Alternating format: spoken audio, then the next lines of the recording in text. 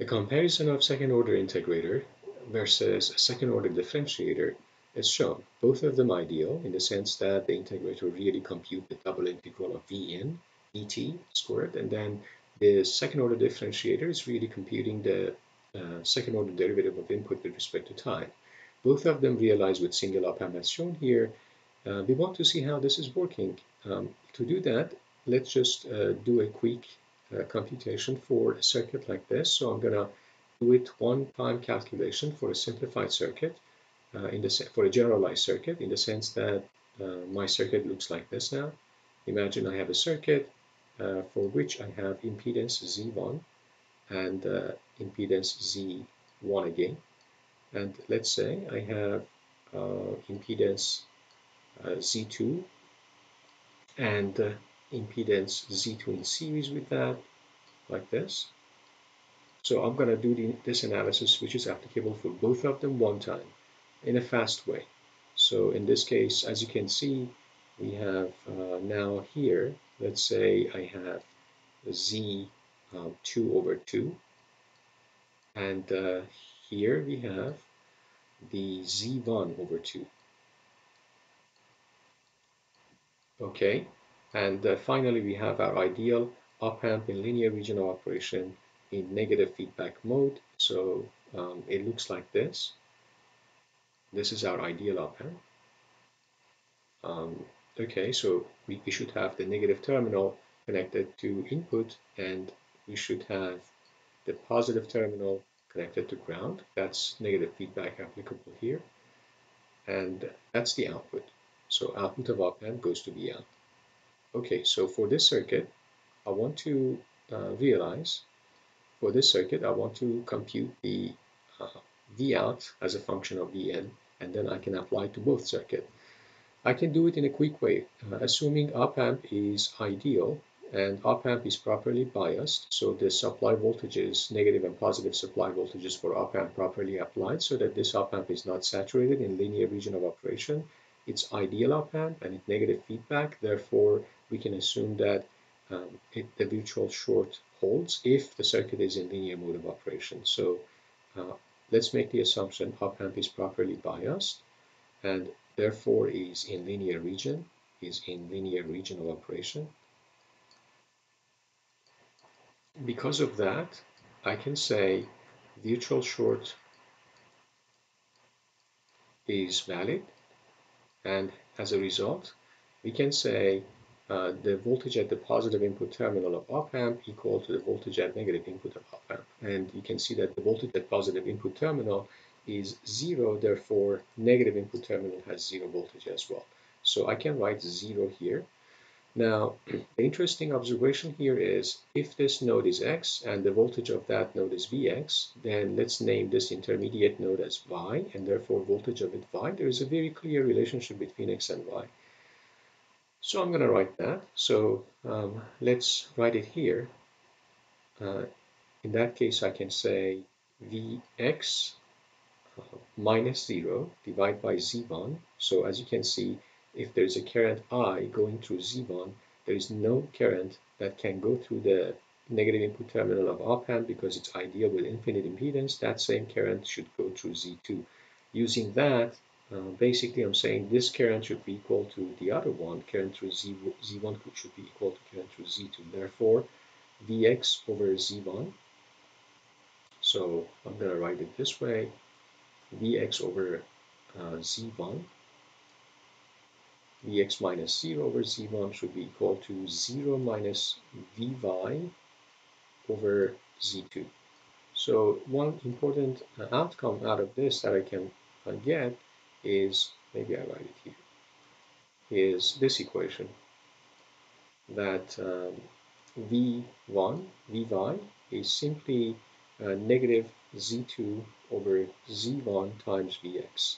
Let's keep this as equation number one. We're going to use this um, later quickly. So that's one. And what else? So uh, let's also write a KCL at node y here.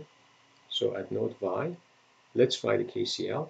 So the current coming in, which is 0 minus Vy divided by Z2, should be equal to the current going to uh, ground and then the current go going toward V out. So I would say KCL at node Y give us this.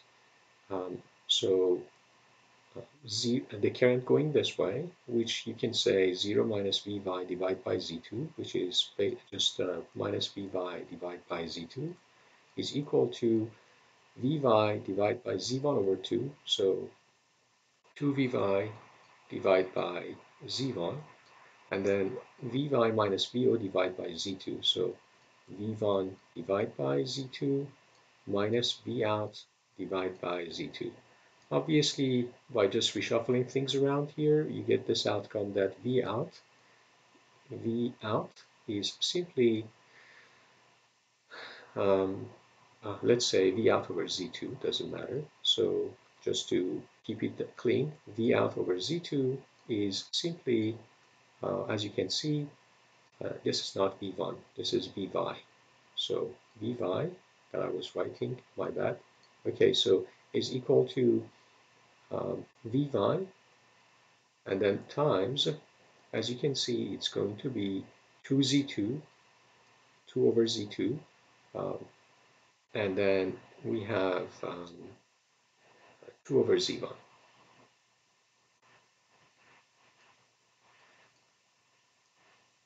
That's what I can see here. So we have um, VO over Z2, and then we have Vy over uh, 2 Vy over Z2 plus 2, v, 2 over Z1. So we get this outcome here. Let's keep this as equation number, let's keep this as equation number 2. Okay, uh, what else we have? Well, we can do the same thing for a KCL at node X. So a KCL at node X is simply this KCL very similar to this one. You would say to, to the one that I just wrote. So Vn minus Vx divided by Z1. So Vn divided by Z1 minus Vx divided by Z1 is equal to Vx divided by Z2 over 2. So 2 Vx divided by Z2 and then plus Vx divided by Z1. Okay, uh, simple reshuffling also give us this outcome that Vn over Z1 is equal to Vx times 2 over Z1 and then we get um, so 2 over Z1 and then we get we get 2 over Z2 as well. Okay, we are getting to the point that I wanted to get to. So this is uh, equation number three. So equation number three. Um, and then I'm going to use combination of equation one, two, three to simplify things very fast. So uh, that is three. Now what I think, what, what I need to do is at the, as, as the last action, in um, equation uh, 2, I'm going to substitute for Vy using uh, equation 1. So I'm going to rewrite that.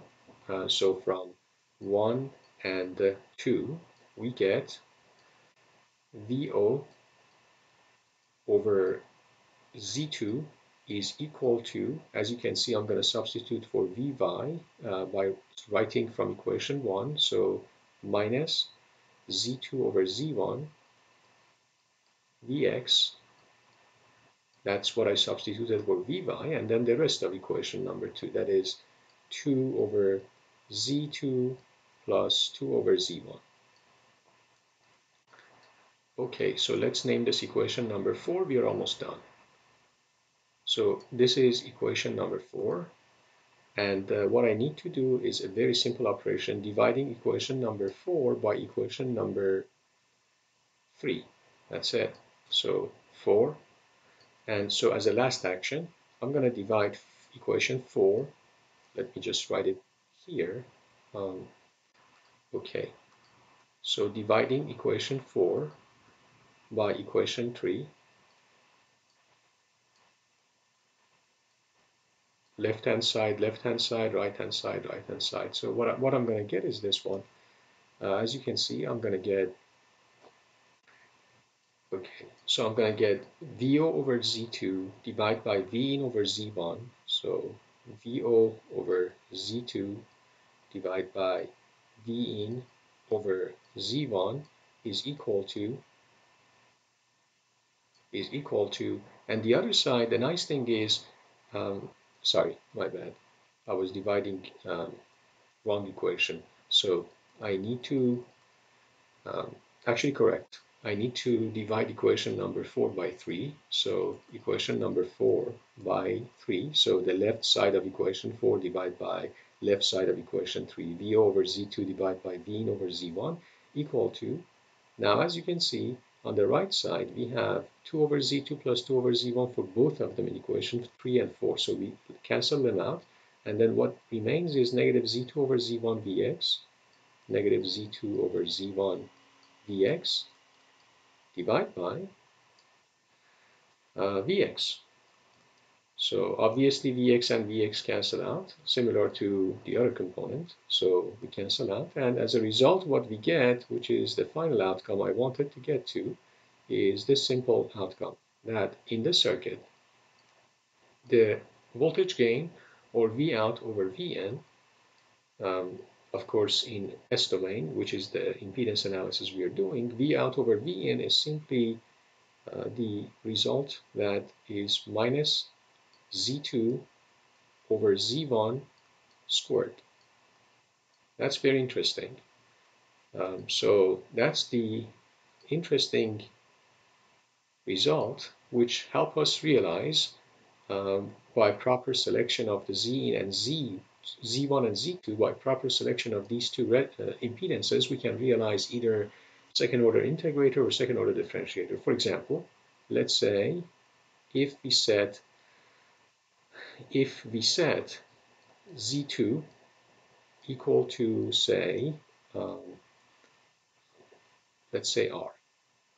So basically if we set z2 in this circuit as a resistor like the one that is shown here uh, for the circuit on the right hand side we have z2 see this is z2 this is z1 so if I set z2 to a resistor r and Z1 to a capacitor C, then Z2 is R and Z1 is 1 over Cs in S domain and uh, in S domain analysis. And therefore, uh, by substituting them here, you get uh, VO V out over Vn is equal to RCS squared negative, which means uh, ideal ideal differentiator. So this means uh, in time domain, V out as a function of time is just simply negative RC uh, second order derivative of Vn with respect to time. That's the meaning of uh, this S domain transfer function or uh, voltage gain. And if, for example, in another realization, if you go with, say, Z, um, let me put it this way, if you put if you put z z2 if you put z2 equal to um, 1 over cs.